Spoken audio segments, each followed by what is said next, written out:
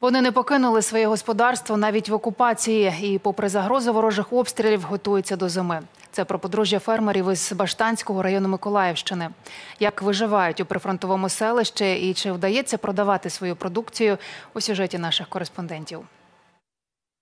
Нас були дуже великі плани е, е, на весну. Ми хотіли е, за допомогою певних проєктів, державних проєктів, держава нам мала допомогти обновити наше стадо. Так про свою роботу до війни розповідає подружжя Ходаріних Любов та Володимир. Раніше брали кредити у банках на розвиток тваринницької галузі, щоби збільшити фермерське господарство. Та російське вторгнення перекреслило всі плани. Закупівля поголів'я на наш на е, оновлення стада е, мало відбутися е, або із Чорнобаївської ферми, там те поголів'я, яке нас цікавило, або ж, скажімо, із е, Асканії Ново. Там також е, дуже гарне поголів'я. На сьогоднішній день ви знаєте, це все ці господарства під окупацією. Раніше кажуть, Любов та Володимир продукцію здавали на переробку одному з найбільших молочних підприємств області, та воно постраждало від ворожих обстрілів. На жаль, на сьогоднішній день ми не можемо з ними працювати, тому молоко нашої ферми ми використовуємо тільки для своїх потреб,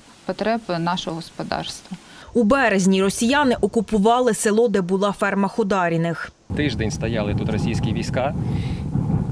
Е, Як тут було? Ну, ну, передати я не можу, це треба, звісно, з ними тільки балакати. Важко. Важко, тому що вони себе тут вважали господарями, вони прийшли. І вони це свято вірять, правда, що вони освобождають. От чого тільки. І так зрозуміло. Якщо по селу освобождають іскандерами, розбивають все, що є, випалюють пасовища. Зараз фермери готують своє поголів'я до зими, а це 30 корів, свині, кролики та свійські птахи. Все, що могли, заготовили, корови переживуть. Якщо не буде е, прильота крилатих їхніх друзів, то перезимуємо. Важко, але перезимуємо. Є зерно, ми не реалізували, тому що ціни немає, і вивоза немає як такого фактично. Попри те, що нема ринку збуту і складно з постачанням корму для тварин, подружжя Ходаріних вірить, їхня ферма виживе, а після перемоги повністю відновлять свою діяльність. Наталя Якобсон, Євген Сержук, телеканал Рада, загальнонаціональний марафон. Єдині новини.